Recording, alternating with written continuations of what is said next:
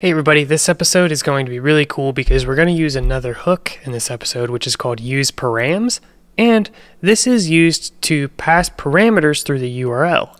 So we will learn how to parameterize our URLs and make our component more dynamic. A bunch of jargon words to mean that I want to throw cucumber in here and get a definition for it. And right now it's just giving me this gray screen, which is lame. So what do we need to do? Well, anytime we're going to be working with URLs, we go to the routing section of our code. And we're going to define a route very similar to this one. We're just going to change a little bit and that is going to go right here. So we want to be able to put a slash here and then some word to search for in the dictionary.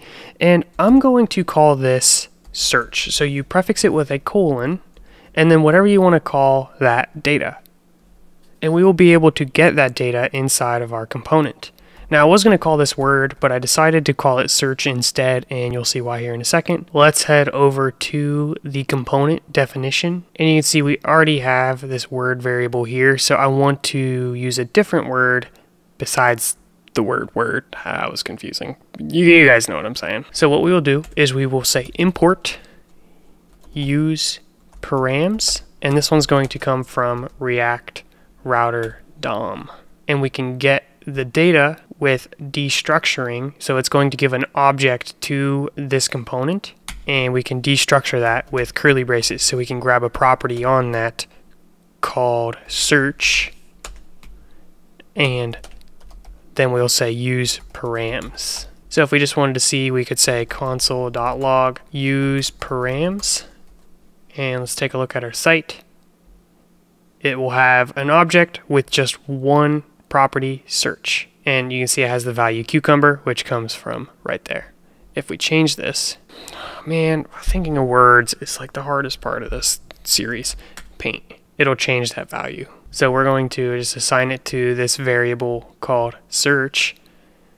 And that's why I didn't name it word because we already had word being used. And now we can append the value right here. So we will remove helicopter and replace this with search. Let's save, test this out. So we could type in paint. Oh, it's already working. A substance that is applied as a liquid or paste and dries into a solid coating that protects or adds color slash color to an object or surface to which it has been applied or to apply paint to.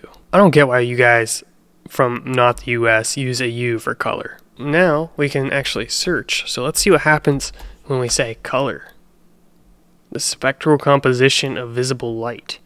I wonder if it's exactly the same if we change it to color. Yep, but as we can see, the definition uses C-O-L-O-R. So it's just matter of fact that this is the correct spelling. As a side note, you can use the network tab and you can see where that request was being made and a response here.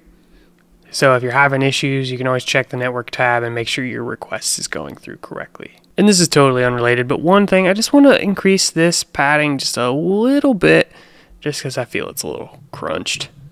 This is really just for those of you who have been following along exactly. So we will head over to the header and find where we have our section. And padding X, we're going to increase that. Let's see what 4 looks like. Ah, that's a little too much. Gosh, I should have known. Dang it. All right, three. That looks great. And at this point, I think we're safe to remove our console log. We're not going to need that for now. And there you go. One of my next goals is to build search capability, which is going to use a couple more hooks and some other functionality. So hopefully that sounds cool to you. That way we don't just type it into the URL, but we actually have a search bar that can then go and grab the right definition. Thank you for watching. Be sure to subscribe if you've enjoyed the content, and see you in the next episode.